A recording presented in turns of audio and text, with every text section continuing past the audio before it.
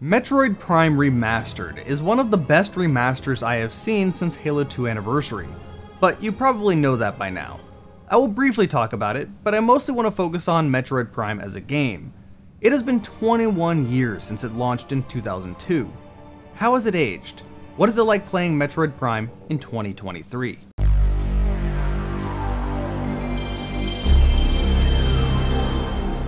Hey, Jarek here. Now, I played Metroid Prime on launch, yet for whatever reason, I didn't retain that knowledge. I remember some tunes, I remember some locations, like the opening of Tallon with the waterfall in front of you and Samus's spaceship behind you.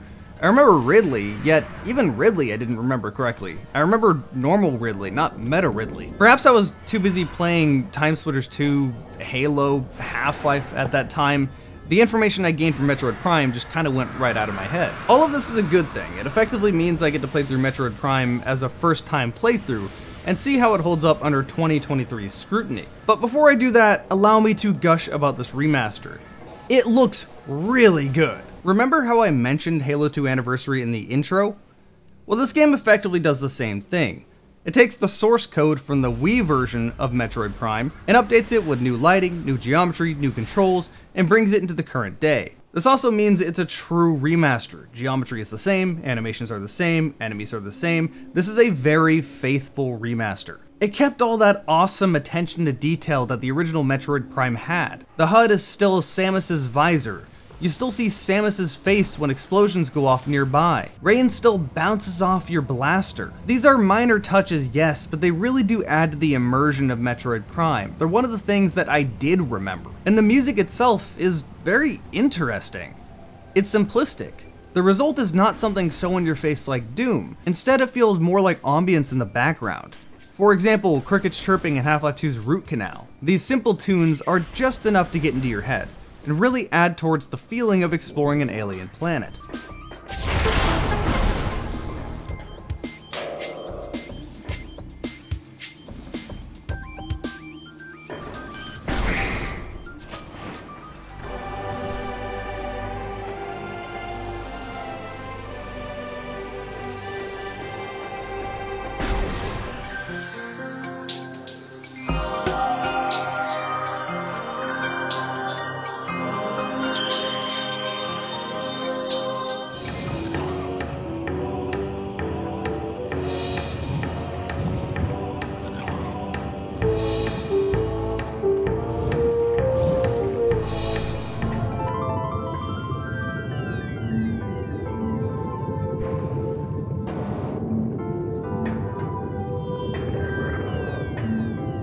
On the more technical side, I never had the frame rate drop below 60 FPS, which for the Switch is very impressive with how this game looks. One of the things they did change was the controls. That is another thing I vividly remember when I played Metroid Prime back in the day, I remember the controls being awful, even back then. They're solidly tank controls. I was already well acquainted to dual stick aiming. I mean, Halo came out before Metroid Prime did. That was quickly becoming the standard. Doing everything with one analog stick was just odd. This remaster's default controls are twin stick controls yet it still retains the lock-on combat that we saw in the original Metroid Prime. In my eyes, this is the best of both worlds. It has other aiming options as well. If you like gyro aiming, this is effectively the same as the dual stick controls, but now you have gyro aiming. It does allow you to go back to the old control scheme if you really want those tank controls back, or it allows you to do a combination of both, which is kind of the tank controls with gyro aiming. This is the only real significant thing they changed from the original game, and in my opinion, it's a good change. So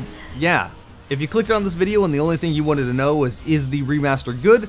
Here's your answer. It's very good. One of the best remasters I've ever seen. But before I go on with Metroid Prime as a game, I need to thank today's sponsor, Into the AM. I accept Into the AM sponsors a lot because they're so nice to work with. Virtually every sponsor is going to give me a list of things to talk about, and it's very rare that I don't get that.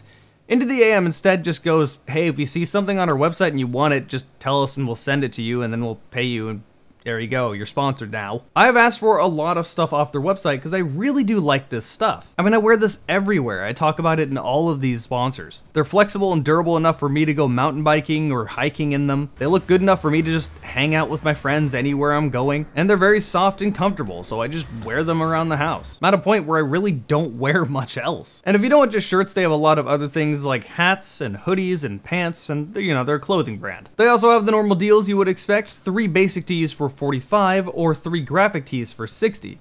And if you go to intotheam.com slash dragonshirts, you get 10% off site-wide, and this stacks on top of the deals. So huge thanks to Into the Am for sponsoring this video, and now let's go back to Metroid Prime. Metroid Prime has a simple, non-direct story.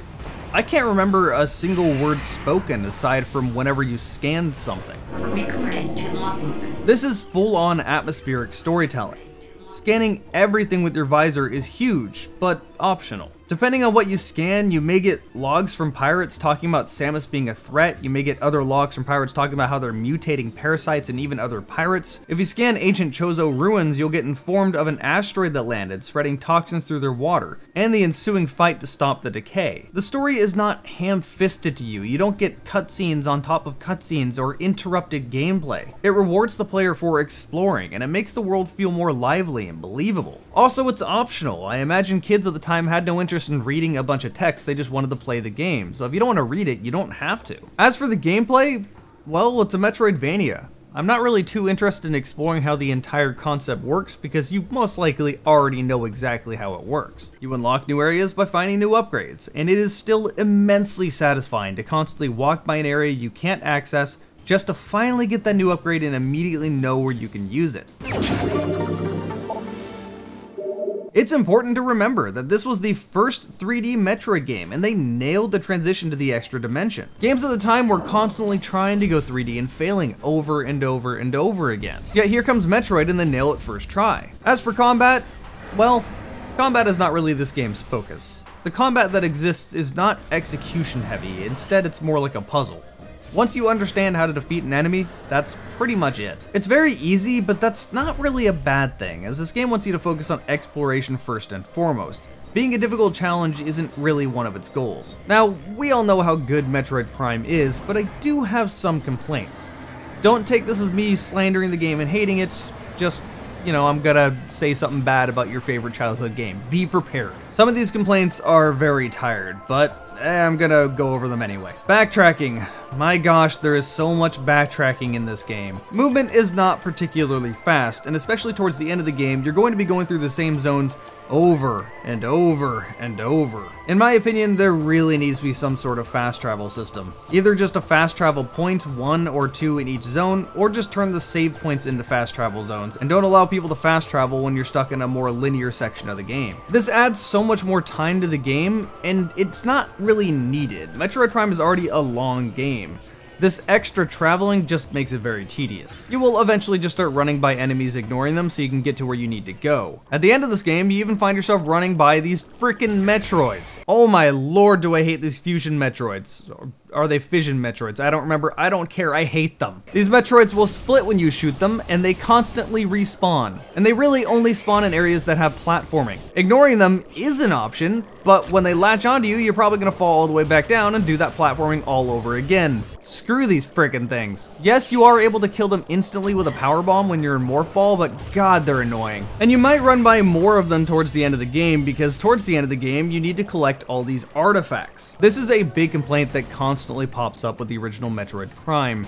Finding these artifacts can feel obtuse at times, and not really necessary. How am I supposed to know there's an artifact hidden in this stone pillar? I have no reason to use any of my visors in here. You're just supposed to figure that out and find it. Yeah, these are kind of the worst elements of a Metroidvania, when you need to find that one little tiny thing that's not really properly told to you. Every Metroid has that moment, and well, there's a few of them here. I have no idea how I found these when I was younger. YouTube didn't exist yet, this is just 2002, and a lot of the world was still on dial-up. I know I found all the artifacts because I fought Ridley, I remember that much. And speaking of Ridley, this is one of my more minor complaints, but some of the bosses just take forever. They're not really difficult, they just tend to be the same thing repeated over and over and over again until they eventually die. You get the initial puzzle, you figure out that initial puzzle, and then you spend the next 15, 20 minutes waiting till it dies. The final boss is the biggest offender of this, I won't show it for spoiler reasons. With that said, this is really only a problem late game, and with only a few of the bosses. Most of these bosses are awesome, and I have no complaints about them. So consider that a bit of a nitpick towards the end. In conclusion, playing Metroid Prime takes me back to a different time. A time when AAA games meant something good. A time when AAA meant someone's vision had a real direction and a real budget behind it. A time when you got a fully finished, extremely polished game on launch. A time when Nintendo wasn't constantly sending cease and desist orders to every fan project that remotely looked in the direction of one of their IPs. A time when they weren't trying to stop the competitive Smash scene just from existing. A time before they tried to kill Project M and forced it underground. A time before they re-released old games for full price just to announce Metroid Prime Remastered, drop it on the same day, and only for $40. I really don't understand Nintendo. As a developer, they seem awesome. They release really good games. As a publisher, they show time and time again they're completely out of touch. And Metroid Prime is still one of the best games ever made, even in 2023. Huge thanks to Into the AM for sponsoring this video. If you want to get some of this stuff for yourself, go to intotheam.com slash dragonshirts. And a huge thanks to all you guys for watching this video. If you want to follow my Twitch, there's a link in the bottom right. People that subscribe on Twitch get to see my videos ahead of time. My Twitter handle is down there in the bottom left if you care. And I will see you next video.